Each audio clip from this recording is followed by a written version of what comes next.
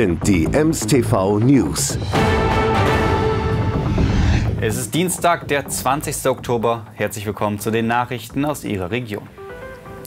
Wir starten wie gewohnt mit den aktuellen Corona-Fallzahlen im Landkreis Emsland in die heutige Sendung. Die Zahl der Gesamtfälle steigt heute im Vergleich zu gestern um 17. Insgesamt wurden 1298 positive Corona-Befunde gemeldet. Als genesen gelten mittlerweile 979 Menschen. Dies ist ein Anstieg um 20 im Vergleich zum Vortag. Aktuell infiziert sind 294 Emsländer und Emsländerinnen. Der Inzidenzwert der vergangenen sieben Tage sinkt leicht. Gestern lag dieser bei 70 Neuinfizierten pro 100.000 Einwohner. Innerhalb einer Woche, heute liegt der Wert bei 63. In häuslicher Quarantäne befinden sich aktuell rund 930 Menschen. Ende September verursachte eine Frau in Lienen vier zum Teil schwere Verkehrsunfälle. Jetzt wird gegen sie ermittelt.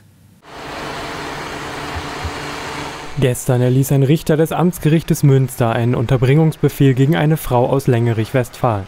Hier wird Mord und ein schwerer Eingriff in den Straßenverkehr vorgeworfen. Hintergrund war eine Unfallserie. Die Beschuldigte soll ihr Fahrzeug in eine Gruppe Radfahrer manövriert haben. Dabei verstarb ein 47-jähriger Mann.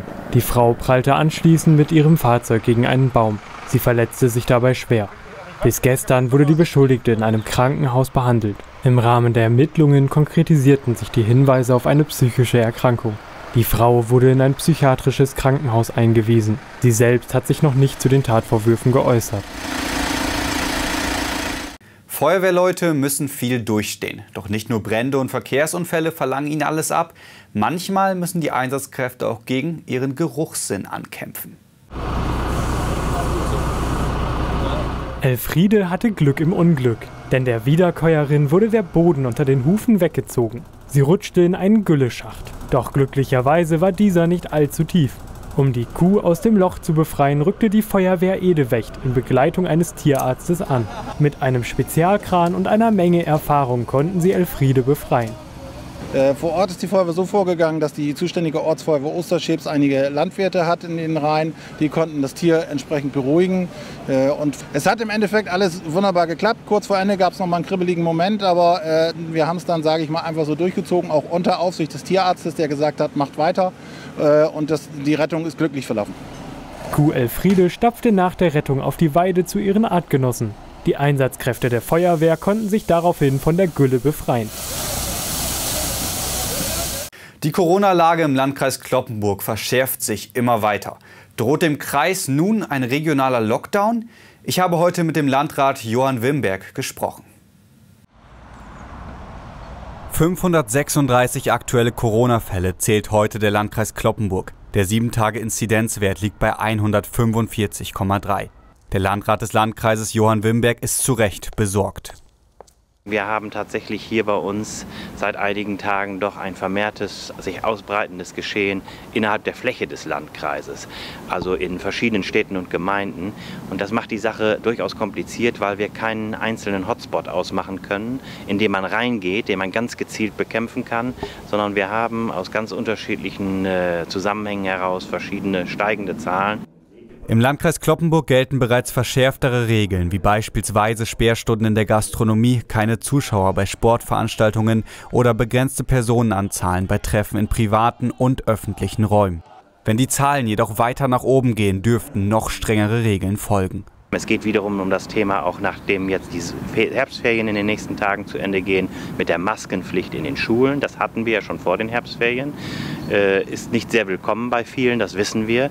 Aber wir müssen sehen, wie können wir den Infektionsschutz gewährleisten. Und deshalb wird, ähnlich wie das jetzt auch in ganzen Bundesländern überlegt wird, auch bei uns wieder äh, ab nächster Woche mit der Maskenpflicht in den Schulen zu rechnen sein. Das alles wollen wir in den nächsten Tagen auf den Weg bringen. Im bayerischen Landkreis Berchtesgadener Land gilt bereits seit gestern ein regionaler Lockdown. Sollten die Zahlen im Landkreis Kloppenburg weiter unkontrolliert nach oben gehen, müssten sich die Behörden auch darüber Gedanken machen. Man kann so etwas nie gänzlich ausschließen. Aber das ist ein Szenario, das wir uns natürlich alle nicht wünschen und wo auch alle sagen, das muss mit aller Kraft verhindert werden. Gerade deshalb ist es aber wichtig, dass sich jetzt alle aller ihrer Verantwortung auch bewusst werden, weil das kann man nicht allein durch behördliche Verordnungen steuern. Es kommt tatsächlich darauf an, dass die Menschen mitwirken Im Landkreis Kloppenburg werden momentan 17 Corona-Infizierte stationär behandelt. Es bleibt abzuwarten, ob der Landkreis die drastische Entwicklung wieder in den Griff bekommt oder ob weitere Maßnahmen notwendig sind. Soeben hat der Landkreis Kloppenburg noch mitgeteilt, dass es 33 neue aktuelle Corona-Fälle gibt. Außerdem ist eine weitere Person an den Folgen der Covid-19-Erkrankung verstorben. In der Samtgemeinde Dörpen wurden gestern die Jüngsten geehrt. Ein Bericht von Jonas Ströer. Gestern wurden im Dörpener Rathaus Preise vergeben. Die Gewinner waren Kinder, die an Wettbewerben des Ferienpasses teilnahmen. Also wir haben im Rahmen der Ferienpassaktion in diesem Jahr ähm, zum ersten Mal zwei Wettbewerbe durchgeführt. Ganz neu war jetzt die Selfie Rally.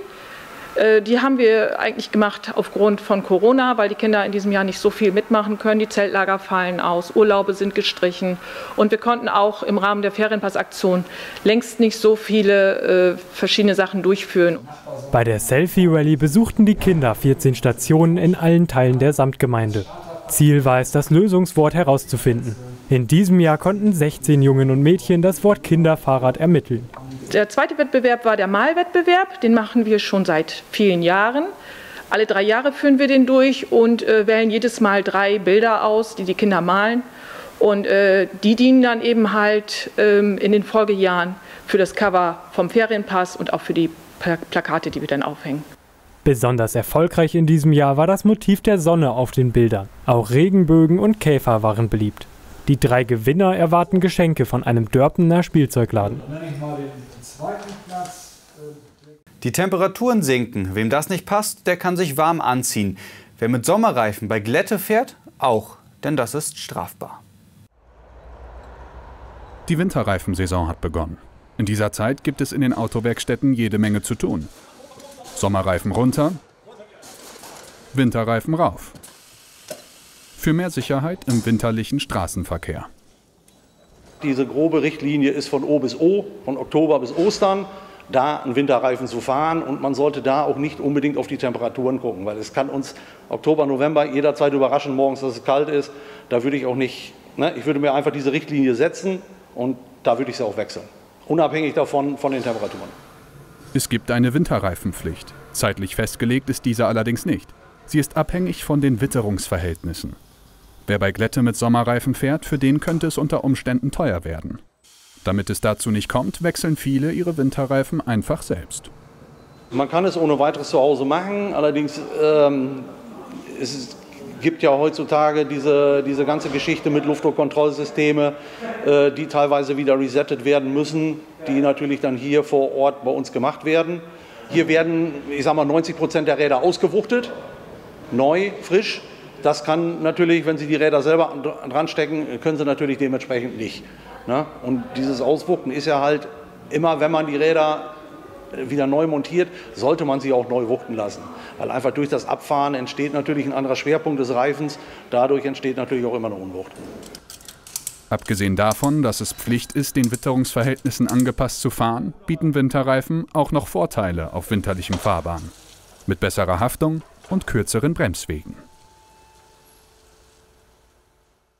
Ich werde mich jetzt gleich auf den Weg nach Hause machen, noch mit Sommerreifen auf dem Auto, denn die Winterreifen stehen jetzt bald an. Bis dahin wünsche ich Ihnen noch einen schönen Abend, eine gute Zeit. Ich freue mich, wenn Sie morgen zur gewohnten Zeit um 18 Uhr wieder einschalten. Bis dahin, tschüss.